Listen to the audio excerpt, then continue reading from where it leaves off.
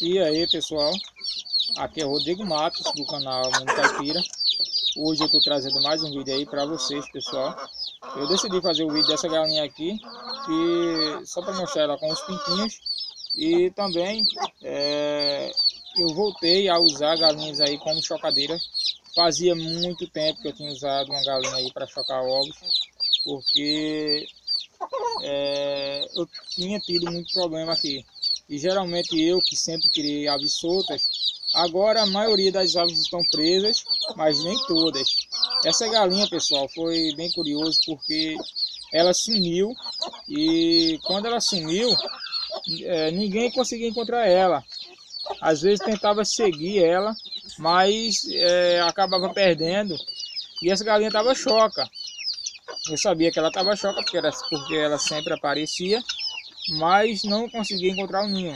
E do nada a galinha apareceu aí com os pintinhos, foi nove pintinhos, mas só que tem mais de nove aqui. É, acrescentei alguns que foram da chocadeira, poucos, né? Mas eu vou voltar aí a usar é, galinhas para chocar. Eu pretendo, pessoal, é, arranjar algumas galinhas pequenas, só para isso. É, porque galinha grande é complicado de botar para chocar. A galinha aqui, eu já botei algumas galinhas minhas para chocar, mas estava complicado porque elas eram grandes, são grandes, e elas não quebravam por propósito. Elas, pessoal, uma vez eu percebi que quando ela vai entrar no ninho, ela pisa nos ovos, geralmente ela pisa nos ovos, e o peso dela acabava quebrando o ovo. Não era nada de maldade, não era, ela não bicava o ovo, nada. Era apenas o peso dela que acabava quebrando o ovo. Então eu não tinha, não tinha sucesso com, com as aves quando botava na galinha. E ultimamente eu botei duas galinhas menores para chocar e teve sucesso, pessoal. Teve bastante sucesso. E eu vou aproveitar aí o tempo que está de sol. Né, o, passou aí o inverno, faz um bom tempo. E eu estou aproveitando para é, tirar algumas remessas de pintinhos, tanto nas galinhas quanto na chocadeira. Porque no inverno eu não costumo tirar pintinhos, porque aqui mesmo em chiqueirinhos, em tudo, é, as aves ela ficam é, de certa forma exposta a algumas friagens, que aqui no inverno venta muito e a chuva não dá trégua, então prolifera bastante doenças e para não estar tá tendo problemas, né, mesmo as aves sendo vacinadas, é, tem alguns problemas aí é, gerados, causados por umidade alta, é, por clima frio, é, enfim, essa, esse tempo aí de, de chuva, que a vacinação não combate certos, certas causas aí. A vacinação vai causar, vai prevenir apenas algumas doenças, mas outras aí, é, às vezes acaba tendo problema. Já que as aves adultas, com as aves adultas não, nunca tive problema aí no inverno, pessoal. É, com o pintinho, se ele estiver bem aquecido, bem organizado também, você não vai ter problema.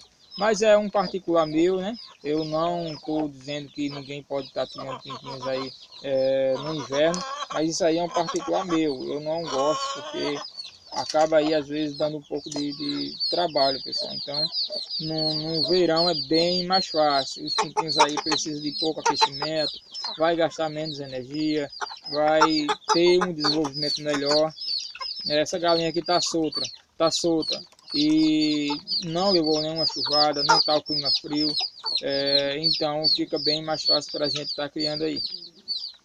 Então é isso pessoal, é, essa galinha aqui, ela tirou com um galo que está solto, eu não cheguei a vender ovos galados desse galo, é, vocês aí que acompanham o canal sabem qual é, e eu percebi que ele está botando muito pintinho amarelo, muito pintinho branco, perdão, ele está botando bastante pintinho branco, e eu estou observando o desenvolvimento desses pintinhos, geralmente não são pequenos, mas eu é, quero priorizar as aves é, de cor avermelhada, principalmente os machos, de cor avermelhada, pessoal. Quem acompanha aí sabe que eu quero seguir mais ou menos esse padrão.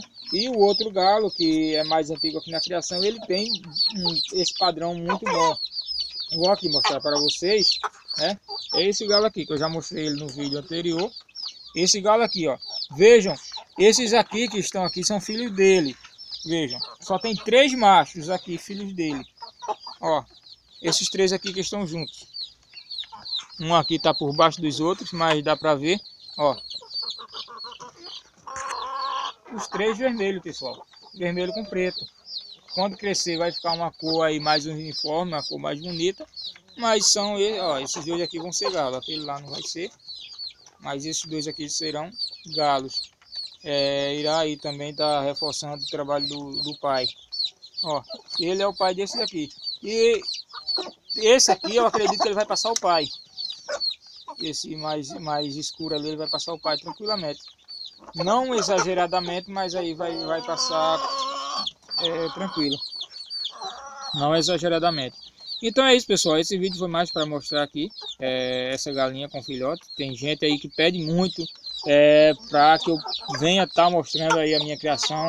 Às vezes eu demoro para estar tá mostrando.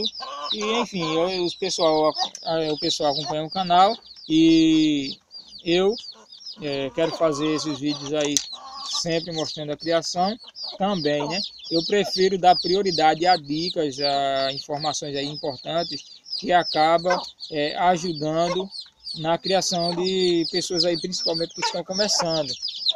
Então, é, eu, pre eu prefiro é, priorizar é, essas informações, pessoal.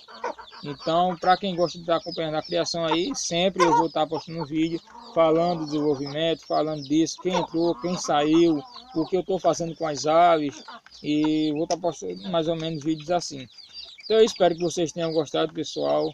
É, quem acompanhou até aqui gostou, deixa seu like, se inscreve no canal é, e compartilha aí esse vídeo para estar tá dando aquela força, pessoal. Se você gosta do canal, então ajude que para que esse canal venha a crescer cada dia mais. Então um forte abraço a todos e até o próximo vídeo, se Deus quiser.